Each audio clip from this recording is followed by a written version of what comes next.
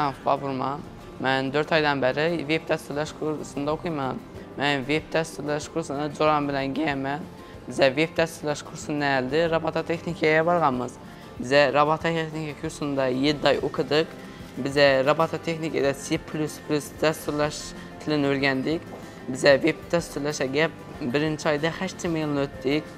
Keyin CSS, Bootstrap, Tailwind CSS-lərini ötdük, dəstürləşdirmələrini öyrəndik.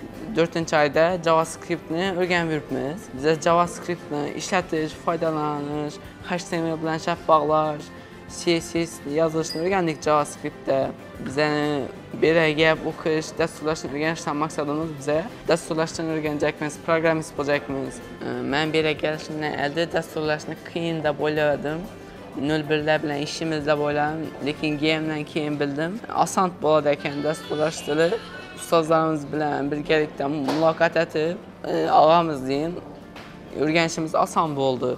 E, Dasturlashtirishni biza 4-5 yil o'rgandik. Bu kelib, robototexnikada nanam o'rgat ekan, o'zing chap yaratsang bo'ladi, programma addinni xalagancha atib, shuni ham o'rgatdi robototexnikada. veb dasturlashda esa saytlar bo'yicha xalan ishlatishni o'rgatadi ekan. Saytlar saytlarda HTMLda ko'rinish yozib chiqib, CSSdan uni ichikligini yozib, javascript ichki funksiyalarini bersang, bo'ldi ekan saytlarda JavaScript yozilgan hozir saytlarga ta'sir etib, saytlara ma'lum bir funksiya bajarib beradi ekan.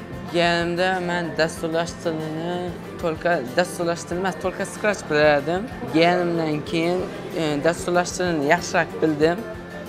Menimcha yaxshigina o'rgandim deb o'ylayman. Ma bu yana ham ta'siri agar maktabda bir IT bo'yicha bir nima bo'lib qolsa birinchi mendan so'raydilar qatnashasanmi deb. Men o'ylab ko'rib javob beraman. Eng katta maqsadim ITni yaxshi o'rganib, dasturlashni qiziqib, musobaqalarga qatnashib, mir bo'yicha musobaqalarga chiqib, o'rin olib.